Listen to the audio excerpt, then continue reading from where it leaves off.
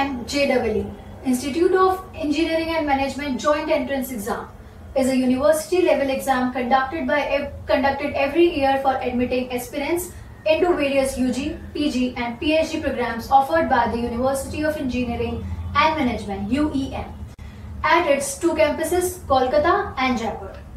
E IEMJEE exam phase 1 is online exam is scheduled on April and phase 2 offline exam is scheduled on May.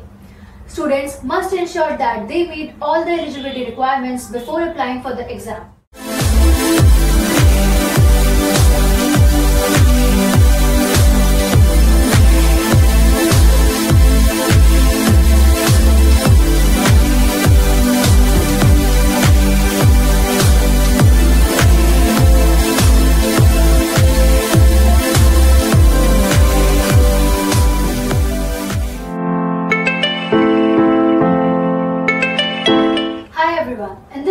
Video we will tell you about the eligibility of Institute of Engineering and Management Joint Entrance Exam.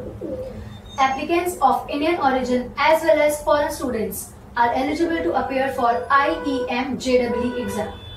Educational qualification for UG program is as follows. Candidate should have passed class 10th and class 12th exam and should secure not less than 50% aggregate, 60% for engineering courses and B stat.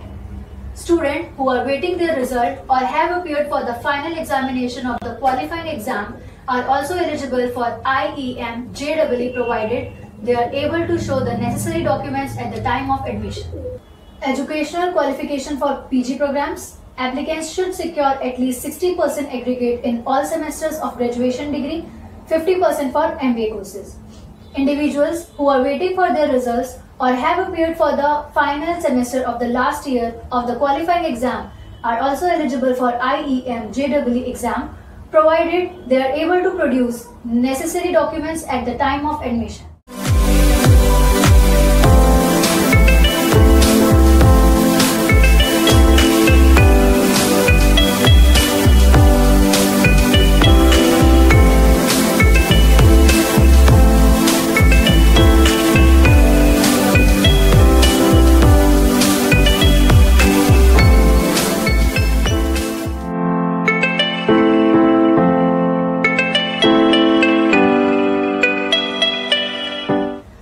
Everyone, in this video we will tell you about the exam pattern of Institute of Engineering and Management Joint Entrance Exam.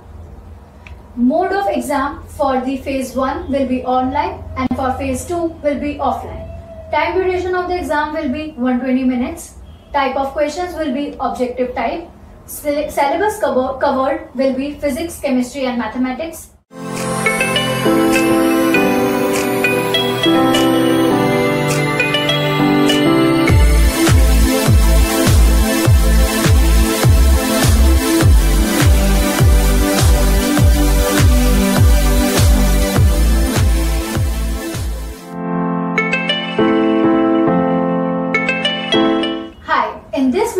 I will share with you some tips and tricks which will help you to qualify the exam successfully.